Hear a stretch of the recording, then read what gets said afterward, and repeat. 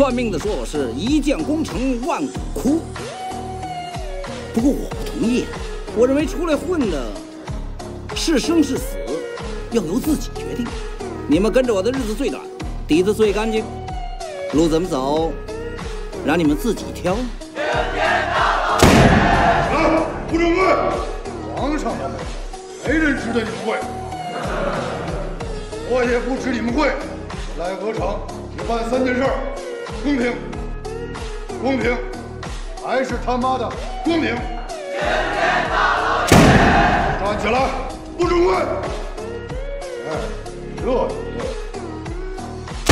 大哥大嫂过年好，你是我的也我是你的。大哥大嫂过年好，你是我的也我是你的。日本人生气和客气都是一个模样，要不咋叫鬼子呢？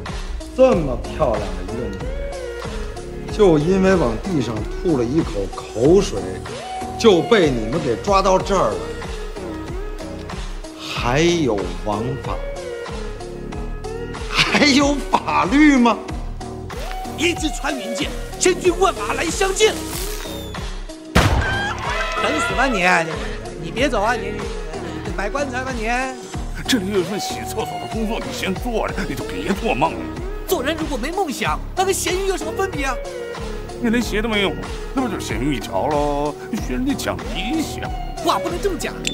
我心中的一团火是不会熄的。就把它吹熄了，不熄。我找俺弟弟，我给他送伞。恁弟弟是谁？俺弟弟就是俺弟弟。他不上课。各位将，弄个骚流氓！操！他不哥哥。啊！当警察的一定要身家清白。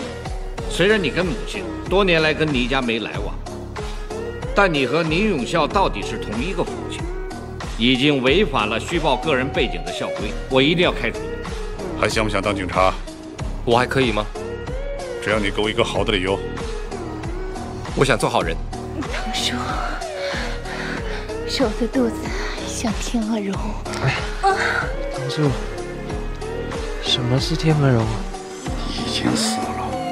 你现在就可以打死我，可是我就是不知道什么是天鹅绒。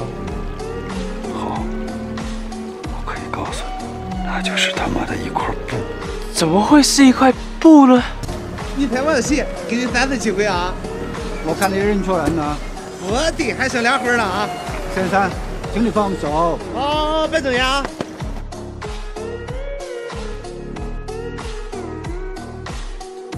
我顶你个肺啊！你真的没对我动过心？哪怕一点点，一瞬间都没有？